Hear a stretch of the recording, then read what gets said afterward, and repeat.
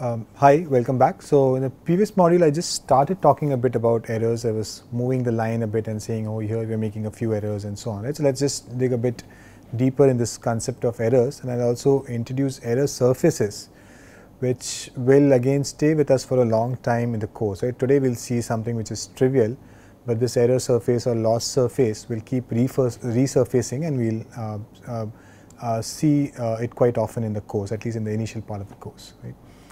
Uh, so again, this is the example we were dealing with. So now I am looking at the uh, AND function now, okay. Uh, and for the AND function, the output should be uh, one only for one input, which is shown in green here, and it should be uh, zero for the three red inputs. Right, that's what the AND function is. And now my decision is of course W1. It's sorry, yeah. So it's W naught uh, plus W1 x1 plus W2 x2 greater than equal to 0 then the output would be 1 otherwise it would be 0 right. So, now let me just fix this as W naught as minus 1 right. So, that is what I have done here. So, my W naught is uh, fixed to minus 1 okay. Oh, again I did the same thing okay. Okay. So, W naught is minus 1 and I will try different values of W1, W2, right. So, it just so happens that the first value that I tried was W1 equal to minus 1, W2 equal to minus 1 and that is the line that I have drawn here. So, this since W0 is minus 1 of course, the y intercept is minus 1 and then I have minus x1 minus x2 and this is the line that I get. Now, what is wrong with this line? Yeah, so obviously if you look at the negative half space of the line which is shown in the red region, right, and now this is an example where it's clear that it's not always correct to say lies above the line, right, because these are all points which are lying above the line, but they are actually in the negative half space. So above and below does not really define negative and positive half space, it simply boils down to equation, the inequality, right. So minus 1 minus uh, x2 minus, sorry, let me just erase this and write it properly yeah, so this is the equation of the line. So all the points which satisfy this greater than equal to 0 lie in the positive half space and this happen to be those points or the points in this region and all the points which satisfy the inequality less than 0 are in the negative half space and it so happens that this entire red region is those points, right. So, it is not above or below, it is about uh, whether greater than equal to 0 or less than equal to 0, which of these inequalities is satisfied. Okay. So, these, these points lie in the negative half space as shown in the red uh, region and then of course, one of the points which should not have been in the negative half space which is the point 1 comma 1 is lying in the negative half space. So, with these particular values of the perceptron or, or the weights of the perceptron uh, function, I am making error on one of the 4 inputs, right. So, if I just want to tabulate, so I took the W1, W2 values as minus 1, minus 1 and then I made an error of one of the inputs. Now let me take the values 1.5 and 0. Okay, let me try those values. So I'll uh, oops, yeah, I'll make this as 1.5. Okay. So this is 1.5 and I want W2 to be 0. So I'll just make it 0. Okay. So this is the line that I get and W naught of course I have fixed at minus 1 and again you can see the negative and the positive half spaces. So, I am again making an error of 1, it is a different error this time. One of the points which should have been in the negative half space which is this point uh, is actually in the positive half space now, right. So, again I made an error of 1. Now, let us try a different value of W1, W2. So, I will take the values 10 and minus 10, right. So, I will just make this 10 and I will make this as minus 10, okay.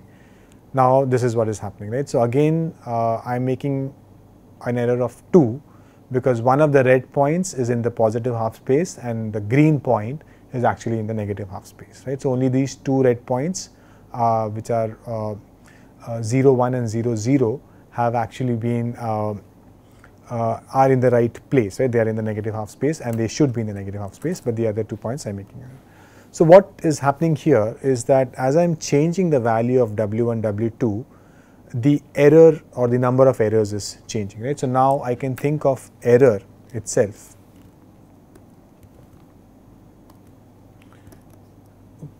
Why is this not working at all?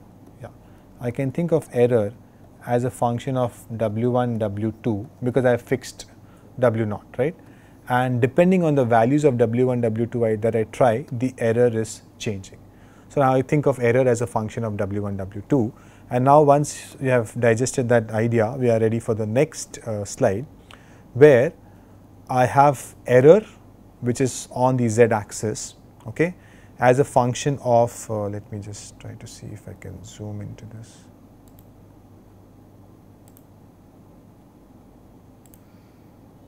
Yeah.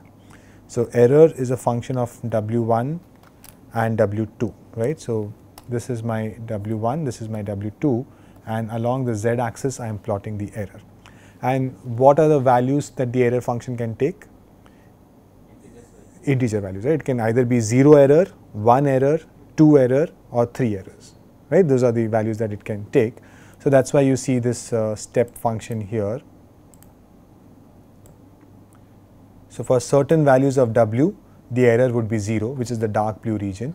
For certain values it would be 1 which is the purple region, for certain values it would be 2 which is the orange region and for certain values it would be 3 which is the yellow region, right.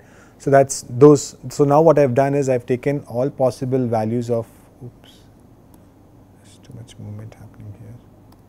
Yeah, I have taken all possible values of W1, W2. I have just restricted to minus 4 to plus 4 because that is all I can show on the plot and this and I have substituted that those values uh, in the equation and then just counted the number of errors that I made. So, we were doing that visually, but I could just write a program to calculate those errors and that is how the code there was displaying it. There was two errors, one errors and so on.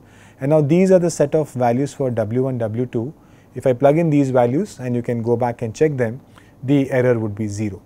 These here, right, these are the values of W1 and uh, W2, right, for which the error is going to be 1 and so on 2 and 3. So, what I have done here is I have actually uh,